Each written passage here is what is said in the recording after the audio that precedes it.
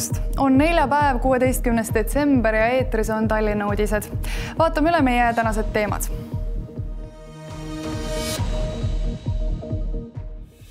valitsus tegi täna erakorralise otsuse me tegime tõesti erandi nii-öelda uusaasta äh, nädalavahetuseks ehk kolmekümne esimese detsembri ööks vastu esimest ja esimese jaanuari ööks vastu teist äh,. aga see on ka kõik, ehk et ülejäänud piirangud jäid kõik jõusse Viimsi ja Saue valla elanikud saavad uuest aastast anda jäätmeid Pärnamäe ja Pääsküla jäätmejaamadesse tallinlastega samadel tingimustel. Tallinn pealinnana kindlasti soovib kaasa aidata sellele, et, et need jäätmed ei jõuaks kuhugi metsa alla, vaid viidaks õigesse kohta täna avati Pirita kloostri varemetes maagiline jõulumaa, mis pakub neli päeva jutti meelelahutust ja mitmeid üllatusi. kuidas teile jõulumaa meeldib? hästi oleme esimest korda siin äh, kloostris, tulime uudistama. peaministri ülesannetes riigihalduse minister Jaak Aab ütles täna, et valitsus kaotab erandina kolmekümne esimesel jaanuaril kella kahekümne kolmese piirangu kuni teise jaanuari varahommikuni. aastavahetuse tähistamine on seotud igaühe isikliku vastutustundliku käitumise normiga valitsus otsustas kolmekümne esimesest detsembrist kuni teise jaanuarini hommikuni peatada meelelahutusasutustes ja mujal kehtiva kella kahekümne kolme sulgemisaja piirangu. teise jaanuari õhtust tuleb avalikes siseruumides taas öisest liikumispiirangust kinni pidada. leevendus kehtestatakse aastavahetuse tähistamiseks. me tegime tõesti erandi nii-öelda uusaasta äh, nädalavahetuseks ehk kolmekümne esimese detsembri ööks vastu esimest ja esimese jaanuari ööks vastu teist aga see on ka kõik, ehk et ülejäänud piirangud jäid kõik jõusse. erand ei tähenda, et viirus nendel kahel õhtul jätkuvalt ei leviks. kõik, kes otsustavad aastavahetuse veeta avalikes paikades, peaksid käituma eriti vastutustundlikult nii iseenda kui ka kõigi teiste kaitseks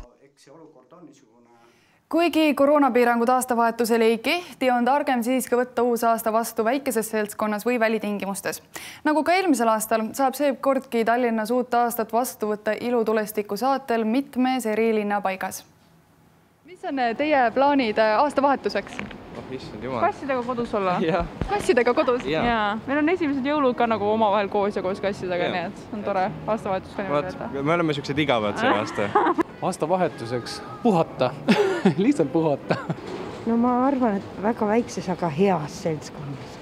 võib-olla ma olen lapselastega ja lasen oma, oma lastel siis minna hullama või möllama ka natuke traditsiooniline aastavahetuse kontsert ja ilutulestik Tallinna Vabaduse väljakul jäävad ära. see-eest saab raketisshow'd nautida seitsmes eri linnapaigas hajutatult. linna kõige uhkem saluudishow toimub Reidi teel Ingli rannas, kus on vaatemängud taustaks müstiline Läänemeri see on kindlasti see mereäär annab talle sellist ilu ja peegeldust ja sära juurde. see ei ole lihtsalt paugud, vaid siin on ikkagi lugu ja erinevad kujundid ja erinevad mustrid ja ühe kujundi nimi on Eestimaa. linna kõrgem saluut lastakse õhku Tallinna teletornist. väiksemaid ilutulestikke korraldatakse ka nii Lasnamäel, Mustamäel, Haaberstis kui ka Põhja-Tallinnas meie äh, eesmärk on, et inimesed ei korraldaks äh, ilutulestikke iseseisvalt. Äh, ja meie arvates aastavahetuses kindlasti inimesed tulevad välja ja parem seda korraldada sellisel viisil, et see oleks koordineeritud viimastel aastatel küll vähem, kuid siiski igal aastavahetusel on Tallinna kiirabi väljakutsete seas mõni tõsisemas seisus patsient, kes on vigastanud end just eraviisiliselt lastud ilutulestikuga.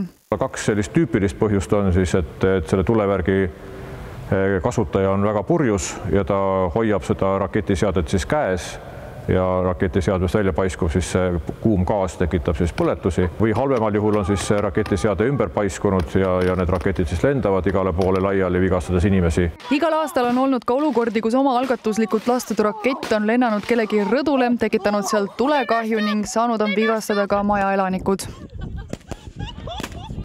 seksuaalse enesemääramise eapiir muudetakse seni kehtinud neljateistkümnelt aastalt kuueteistkümnele aastale. eelnõu eesmärk on kaitsta lapsi selle eest, et täiskasvanud neid seksuaalselt ära ei kasutaks. samal ajal on oluline, et lapsed ja noored ei saaks karistada omavaheliste vabatahtlike seksuaalsuhete eest, mistõttu on erandiks toodud niinimetatud Romeo ja Julia klausel neljateistaastane laps käib seitsmendas klassis. ta ei tohi osta energiajooke ega lotopiletit, avada pangakontot ega sõita üksinda laevaga Soome. ometi on tal lubatud omada seksuaalsuhet kas või kuuekümneaastase inimesega.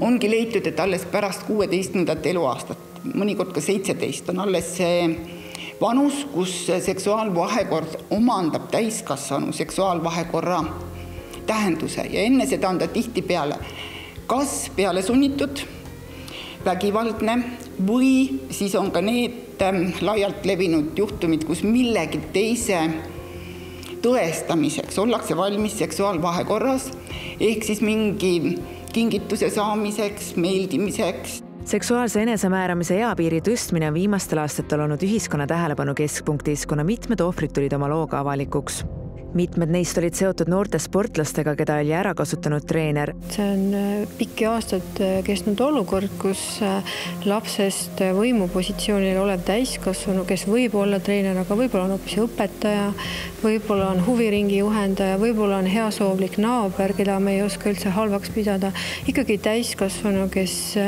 ei käitu väärikalt, kasutab ära alaealise ebaküpsust väärkohtlemine võib viia posttraumaatilise stressihäireni, depressioonini ja suitsiidikatseteni ning seda ka mitmeid aastaid peale vahejuhtumit eelmisel aastal pandi Eestis toime nelisada seitsekümmend üheksa alaealise kannatanuga seksuaalkuritegu pea kaheksakümmend protsenti juhtumitest lapsele tuttava isiku poolt.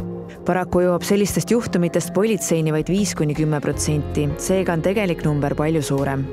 Meil on ikkagi oluline oma lastega rääkida ka seksuaalsest arengust, sellest, et minu keha on minu oma ja et, et, et kui võõras teeb ettepaneku või küsib või tahab puudutada, et siis seda ei tohi toimuda. seadus peaks jõustuma järgmise aasta esimesel juunil. muudatusega tõsteti ka abiellumise piiri, mis on nüüd kaheksateist eluaastat Tallinna eesmärk on edendada jäätmete ringlusse suunamist ning seda ka naabervaldades. Tallinn sõlmib aastased koostöölepingud Viimsi ja Saue vallaga, mille järgi saavad Viimsi ja Saue valla elanikud kasutada vastavalt Pärnamäe ja Pääsküla jäätmejaamu tallinlastega samadel tingimustel Tallinna maksumaksja Saue ja Viimsi valla jäätmekäitlus Pärnamäe ja Pääsküla jäätmejaamades kinni ei maksa, lubab abilinnapea Joosep Vimm. Naabervallad tasuvad vastavalt mahule ja maksavad väikese tasu ka peale, et Tallinn nende valdade jäätmetega opereerib Tallinn pealinnana kindlasti soovib kaasa aidata sellele, et, et need jäätmed ei jõuaks kuhugi metsa alla, vaid viidaks õigesse kohta. kui naabervallad sellega ise hetkel sajaprotsendiliselt toime ei tule, siis muidugi me ulatame abikäe Tallinna Jäätmekeskuse juhataja Kristjan Margi sõnul moodustavad Pärnamäe jäätmejaama külastajatest kakskümmend viis protsenti Viimsi valla elanikud. Pääsküla jäätmejaamas, millel on leping Saue vallaga, on külastajatest kakskümmend neli protsenti Saue elanikud kokku on Tallinna jäätmejaamadel külastajaid sada tuhat inimest aastas. jäätmekogumeid jaamadesse tuuakse üle viieteist tuhande tonni aastas. kõik numbrid on kasvutendentsis kui nüüd liikide kaupa rääkida, siis eh, no võib tuua esile aiaäljastu jäätmed, eh, mille kogus kasvab eh, siin noh, mõni aasta kolmkümmend, nelikümmend protsenti aastas isegi. et ole, oleme täitsa hädas selle aiajäätmete koguse käitlemisega aprillikuust on Tallinna jäätmejaamad avatud seitse päeva nädalas, et tekiks kindel arusaam lahtioleku aegadest koostöös Uuskasutuskeskusega on uudse lahendusena nii Pääsküla kui nüüd ka Paljassaare jäätmejaama loodud korduskasutusruum, kuhu saab nii korralikke esemeid tuua kui ka vahetuskaubana võtta. enamjaolt siiski jäätmejaama tullakse jäätmetega, aga kui nüüd on siis korduskasutatavad asjad, noh, see on siis tegelikult operaatori hinnang, et kas sellel võiks olla siis kaubanduslikku väärtust, eh, siis eh, need asjad võtame tasuta vastu. linna eesmärk on luua võimalusi, saaksime siis jäätmeteket võimalikult palju vältida või vähendada. samuti toob uus aasta kaasa hulga uusi pakendipunkte, mida peaks üle linna kokku tulema ligi viissada. jäätmete taaskasutus on võimalik ainult juhul, kui on eelnevalt liigiti sorditud täna avati Pirita kloostri jõulumaa. kõigil, kel huvi, saab seda erilist paika külastada kuni pühapäeva õhtuni. sel aastal on programm eriti rikkalik, kavas on kontserdid, etendused, töötoad ja jõululaat. kohal on ka jõuluvana ning nautida saab ehtsaid jõuluroogi Pirita kloostri maagiline jõulumaa pakub nelja päeva vältel põnevat meelelahutust ning mitmeid üllatusi. kel jõulukingid veel soetamata, leiab jõulumaalt palju ideid nii mõnigi külastaja lahkus juba esimese tunni jooksul kingikotid käes. ma olen juba ostnud siin igasuguseid asju kokku, et saaks oma tütrele paki sisse panna. aga ma ei ütle teile see, mis asi see on. super, hästi vahva selline ja mõnusalt palju kaupa. oleme esimest korda siin äh, kloostris, et tulime uudistama ja samas ka Ott Leplandi kuulama. tänavu võib jõulumaal kohata palju kodumaist kaupa keraamik Kersti Kõrsmaa müügikioski juurest leiab näiteks haldjatest inspireeritud prosse, kruuse, taldrikuid ja muud praktilist. mul on kõik asjad sinise kirjud ja mulle meeldib hästi haldjaid teha, et siis on niisugune sinihaldjad. no väga ilusad asjad igatahes, et kindlasti inimestele hea mõte, mida jõuludeks kinkida. ja jõuludeks leiab siit midagi küll mulle jäi silma siin selline huvitav bränd nagu murueid ja siirupid, et mis need on täpsemalt? Murueid ja siirupid on Saaremaal tehtud erinevad siirupid, meil on moosid, meil on stroobid, meil on alkoholivabad glögid ja siis meil on ka alkoholivabad napsud. lisaks äh, kingitustele saab siin jõulumaal ka süüa, et mida teie pakute siin? pakume jõulusööki, verivorstid, grillitud kanaliha, hapukapsas praetud ja kardulid. korralik jõulutoit. jah. kultuuriprogramm on sel aastal eriti rikkalik. näiteks juba täna õhtul Ott Lepland mustkunstnik Meelis Kubo, kes kindlasti Eesti üks parimaid tegijaid oma valdkonnas. Äh, Kaire Vilgats äh, koos Paul Neitsoviga, Keter Jaani, Inga. nii et see jah, see esinejate list on, on päris pikk. et tegelikult äh, iga täistund või pooltund äh, tuleb siia mingi esineja. programmiga on võimalik siis tegelikult tutvuda Pirita sotsiaalmeedia kodulehel või külastades Pirita jõulumaa.ee soovin kõigile rahulikku jõuluaega ja püsime kõik ilusti terved. siis saame jätkata ka järgnevatel aastatel sama programmiga. Pirita kloostri jõulumaa on avatud neljapäevast pühapäevani. üritus on kõigile tasuta. vaatame nüüd üle ilmaennustuse, mis ütleb, et külmaks veel paari päeva jooksul ei lähe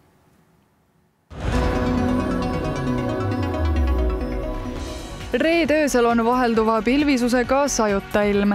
õhutemperatuur on miinus üks kuni pluss üks kraad. päeval on vähese ja vahelduva pilvisusega sajuta ilm. sooja on üks kuni kolm kraadi. öösel vastu laupäeva pilvisus tiheneb ja pärast südaööd sajab enamasti lörtsi. õhutemperatuur on null kuni miinus kaks kraadi. hommikuks tõuseb kuni pluss kahe kraadini päeval on pilves selgimistega ilm, ennelõunal sajab vihma, pärastlõuna on sajuta. sooja on kolm kuni viis kraadi pühapäeva öösel on ilm pilves, sajab vihma, vastu hommikut ka lörtsi. õhutemperatuur on null kuni pluss kaks kraadi. päeval on ilm pilves ja ajuti sajab ka lund. õhutemperatuur on null kuni pluss üks kraad head vaatajad, meie tänane uudistesaade on lõppenud. tänan, et meid vaatasite ja taas kohtumiseni homme samal ajal